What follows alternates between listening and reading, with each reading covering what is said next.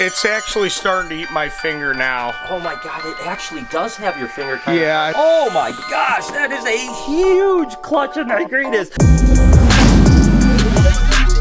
Hey, good morning everybody and welcome to the vlog. It is time to take down my screen here and see what exactly is going on with my girl Lucy here because I'm not gonna lie to you, there's a little bit of bad news. And what I mean by that is if you notice, it looks like Lucy is going into shed. So I'm actually gonna go inside, get a little bit of a closer look. I talked to my vet the other day. She's actually coming tomorrow to take a look as well and we're just gonna see what's going on. Now typically what happens is when snakes go into a shed, it's almost like they're trying to repair something, right? Like if they get a wound, they'll go back into the shed. The fact that Lucy is going opaque again tells me that unfortunately she is absolutely egg bound. I mean, for whatever reason, she didn't lay the rest of her clutch. So we're gonna go inside, get a little bit of a look of what's going on, try to problem solve this, and tomorrow my vet will talk about it, see what our next steps are. Maybe our next steps are just to wait to see what happens. Sometimes snakes just stop. Sometimes they twist their oviduct. Sometimes they tear their oviduct. Sometimes there's a fold in the oviduct. We don't really know what's going on. So I'm gonna go and take a look. I'm gonna get Eric and Bruce to help me out a little bit here and uh,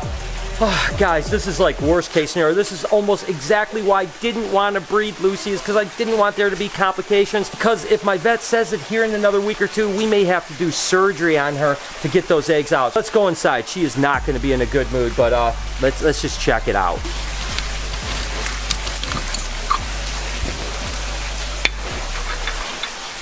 So, no time like the present. Let's get in here and just see what we can do. Girl. Oh, jeez. Oh, oh, oh, oh. My gosh, this, I don't know if this is gonna work. I don't know. I was originally thinking if I could maybe get her to where I can see what she's got going on, but I'll be honest with you, she is, uh, she does not look like she's going to allow that at all. I've got to somehow like feel what's going on with those eggs. See if they're close to the vent or if they're pushed back because if they're close to the vent, we might be able to aspirate them out. But if they're closer up, what? Oh my gosh. Guys, can you get me a paper towel roll? I'm gonna get the old handy dandy paper towel roll here just as protection because she is so fired up right now. Oh my gosh. Holy moly. Come on, girl. You've got to go that way. Jesus. This is so messed up. Okay. Let's see what she's got going on. See if there's any way I can get her. So may, I might be able to just keep her in her cage and actually feel around for her. Oh, whoa, whoa,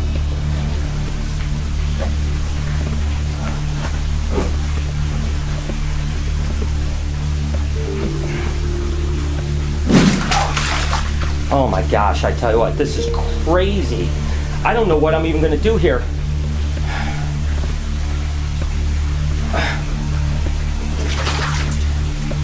Come on, girl. Come on, girl. Just calm down for me, baby. I tell you what, when she's like this, I, I mean, this kind of goes to show you, like, how are we going to anesthetize the snake if we have to do surgery? I have no idea what we're going to do, but I'm getting a closer look over here. Uh, you can see she is just fired up like no other. Wow. Tell you what, guys, this is uh, this is next level. I mean, I've never seen her like this at all. But again, I've got to feel those eggs, so I've got no choice but to keep going. And hopefully, I don't get bit. We'll have to just, we're gonna have to see what happens. I don't know. I don't even know what to do here. Like I don't even know what how I need to attack this thing.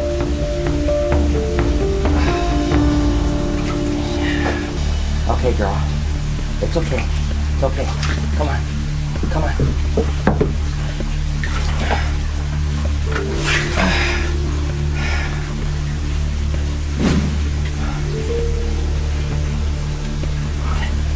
Okay. Okay. Okay. Okay.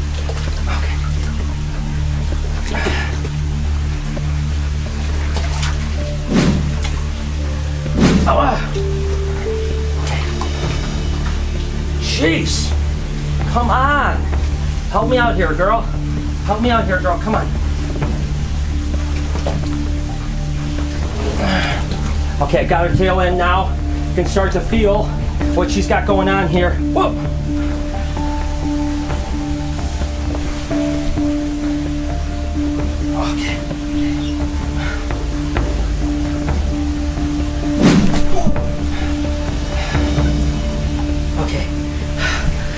All right, uh, so this is the deal, guys. I could definitely feel that the eggs are close to the vent. I can't tell if they're right at the vent or not, but you can see how swollen she is, like right here, which tells me she's pushed all her eggs right down here. I think it's a good sign, to be honest with you, but the fact that she's in shed tells me again that she's definitely egg bound. Get a little bit of opinion from the vet, but look at, she's just mouth open, ready to roll. If I get any closer, it's just gonna be ridiculous. My hook is down here. I think for now, guys, that's, that's where I'm gonna leave it. I mean, I got a good feel for what's going on in there. Uh, they're definitely still soft, which is a good sign. So uh, I'll be able to at least update the vet tomorrow with what I felt, get her opinion on what the next steps are, and uh, hopefully with any luck, my girl will start to plop an egg out here or there. The clutch is gone. It's not going to be good at this point. Completely gone. This is exactly why I didn't really want to breed Lucy last year and was reluctant this year again is because, you know what? I don't care about the clutch of eggs. I don't care about the babies. What I care about is her life. I don't want anything to happen to her. So let's hope she'll pass those eggs. Maybe getting her moving like this will actually agitate her enough to start pushing those eggs out.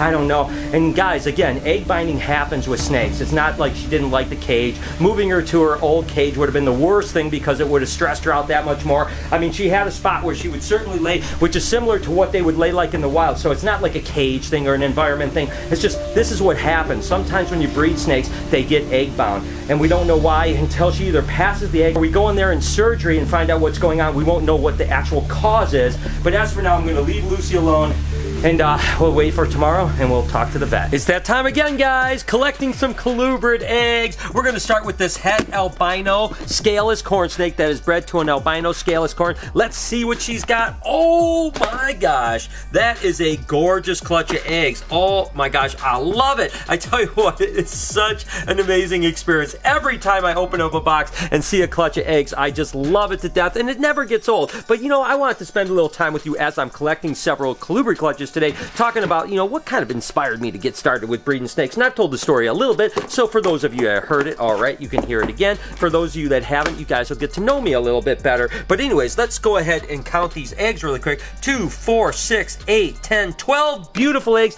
No slugs from that female. That is absolutely a great way to start my day. Eric, what, what are you doing again? Oh, Every just, just hanging. Here, yeah, it's actually starting to eat my finger now. Oh my God, it actually does have your finger kind yeah, of way down. This is is this a female that she laid or she's just Yeah, it's a female. Uh let's see here. No, she hasn't laid yet. So Oh my god. Well, it looks like she needs a little food. Good uh, protein. How's that feel? It doesn't feel good. It doesn't feel good. What are you to do now? we'll probably take it over, run it under some, uh, you know, cold or warm water, and it should let right go. So okay, well, get that hopefully. off. That poor snake is going to eat your whole finger if you don't. I know. I can't believe it tastes that good, huh? and here's the first Arizona mountain king snake clutch of the year. This is actually just a normal that's bred to an albino Arizona mountain king. Let's see which laid. Oh, yeah. I love it. That is great. Last year, we didn't have a really good Arizona mountain king snake year, so the fact that we have the first clutch being really good is truly an amazing sign. And hopefully one that means that the rest of the year will be incredible too. Let's see how many eggs we have. Two, four, six, seven good eggs. That is a really good clutch. And basically, guys, you know, I, it's not that I just wanted to breed snakes because I wanted to create a business or make a ton of money. Really what it was is I just wanted to work with animals. And at the time, it was just an opportunity. You gotta remember that goes way back into the late 80s, early 90s when there really wasn't a reptile business per se. It was just kind of a fledgling hobby. In the entire state of Michigan where I grew up, there was like two pet shops that carried reptiles. All the other pet shops didn't carry reptiles or any reptile supplies. This was before ZooMed, before Exoterra, before Zilla, all the companies that made all these products. So obviously there wasn't really a market there. I just thought, hey, maybe I could make a few bucks so I can continue to work with animals and then eventually maybe I become a zookeeper or a vet or I didn't know what exactly. I just knew that reptiles were an opportunity to maybe make a few bucks to pay my way through college and that hopefully an opportunity would arise that I could could work with animals the rest of my life. And we actually got two Mexican black king snake clutches, so you guys know you love the Mexican black king snakes. So let's see what we have here. The first clutch is a nice clutch here. This is a little bit of a smaller girl, so she laid a beautiful clutch of eggs. Take a look at that. There's two, four, six beautiful eggs. Let's go ahead and take a look at the mama, make sure she's okay. Good job, mom. You did so amazing. Definitely is going to need a little bit of food. She looks like she's pretty wore out, but again, king snakes do that. So it's really common for them to look really kind of beat up and after a couple meals she is going to look just just as right as rain, and hopefully with any luck we'll breed her again. So basically, again, it wasn't like I set out to breed snakes for a living. I just set out to do something that I could do that could continue to let me do what I love, which is working with animals. And I really never thought in a million years that all these years later I would still be breeding snakes. I always thought that I would move on to something else in the more traditional animal world. I didn't even think about TV or anything of that back at the time because that was pre-internet, so there wasn't YouTube and there was none of that. So the opportunity to do television was really, really small. I mean, there was a couple TV shows that were wildlife, like Mutual of Omaha and stuff like that. It was even before Steve Irwin, so the opportunities weren't really there. I just thought I'd eventually probably find my way into a zoo, to be honest with you. And then this next Nigritas is absolutely a huge female. Look at the size of her, and she doesn't even look that fat, But oh, I tell you what, she is feisty right now. She is ready for a meal, so I definitely want to get a meal into her right away because the sooner I get her some food, the quicker she's going to rebound and hopefully produce a second clutch. With the way she looks, oh yeah, she is definitely ready to go. Let's go ahead and see how many eggs there are. I'm expecting a really good clutch. Oh my gosh, that is a huge clutch of nigritas. Ooh, doggy. Two, four, six, eight, 10, 12, 13 eggs. Wow, that has to be a record for me. I don't think I've ever had a 13 egg clutch before. That is truly incredible. But I guess the reason I was talking about this adventure of breeding snakes and stuff like that, it's about kind of capturing opportunities. I kind of like it in a weird way. Don't get me wrong, it's not exactly like this. If you bought into Amazon stock when it first opened, you just were in the right place at the right time. And that's kind of what happened to me with the reptile world, right? I was in the right place at the right time when it was a hobby just starting to become a business. And I just saw the opportunity like, oh my God, I love working with snakes. I love breeding and hatching snakes. I've always loved that. So why not make this into a potential business? And as my hobby grew into a business, the hobby itself exploded in popularity. And I was really just in the right place at the right time. Now, don't get me wrong, that doesn't mean that I didn't work my butt off because the one thing that everyone has kind of said about me that knows me is I'm always one of the hardest working guys that anyone met. This happens to be a het strawberry diffuse corn bred to a het strawberry diffuse corn. Let's see what she has here. Oh yeah, beautiful egg. Looks like one little slugger. That's the first slug of the day and this is actually the last clutch of the day too. So let's go ahead, get this female out of here, see what she's got going on and see what we ended up with. Again, it looks like there's only one bad egg, but let's go ahead and pull this clutch really quick. Okay, not bad at all. We've got two, four, six, eight, 10, 11 good eggs, and one little slug. And again, you can really see the difference. That's a real kind of like gummy type of thing. Let's check the female out, make sure she's in good shape. There you go, girl. All right, sweetheart, you did so good, mama. Way to go. And not a bad way to end the day of egg pulling, too. And again, I just want to continue to always inspire you guys that when opportunity arises, it's all about taking that opportunity. The same thing with YouTube. You know, we started YouTubing in the very beginning when there was really no other reptile channels on YouTube, really. So we just said, hey, that's an opportunity. We did the same thing with Facebook, Instagram, Twitter, all that type of stuff. And I think it's just one of those things that, you know, you go after things that you're really excited about and you hope that they all work out, right? And in this case, it worked out because three decades later, here I am still doing it. Now, the reptile business side of things isn't as big a part of my life when it comes to the actual business side of it, but it's certainly a big part of my life when it comes to breeding. I'm gonna be honest with you, I enjoy this part of breeding, hatching, all that other stuff so much more now that it's not my living, now that I don't pay my bills with it, because now it's almost just like a glorified hobby. I absolutely love this. And with that being said, that concludes the story time of this vlog, as well as the colubrid egg pulling of this vlog. Ball python clutches keep on coming, that's for sure. But I've never quite seen this before. I'm not exactly sure what kind of a coil that is right there. That is one crazy thing. I, I don't know what mama's doing there. Uh, definitely gonna have to candle that one because I can guarantee you that the embryo isn't on top here. And it's literally like adhered and everything. That is so weird. So anyways, this is obviously a pastel. What was she bred to? A fire bee. A fire bee. So of course that would be a pastel, a fire, and a spider. Uh, so we could get some killer fire bees and all kinds of different stuff. Oh, that egg just dropped a little bit. Oh, that's a nice clutch right there. It was a much larger larger clutch than I expected. Because the female was kind of laying down on it, didn't really see it. So, wow, that's a nice clutch. Obviously, this one right here, we're definitely going to candle just to make sure that that's okay. But I'm pretty sure that's where it's going to be the actual embryo right there. Kelsey's just kind of getting these guys off of the paper right here. Got a nice clutch here. Absolutely gorgeous. Good job, Mom. You did really good. And we ended up with... One, two, three, four, Eight. Eight beautiful eggs, and that's the last clutch of the day? Yes. Okay, good. Lots more females to come, so uh, eight more eggs added to the incubator. I tell you what, guys, I'll go ahead and end the vlog here, and I will keep you updated on Lucy and everything else that's going on. Again, my vet comes tomorrow.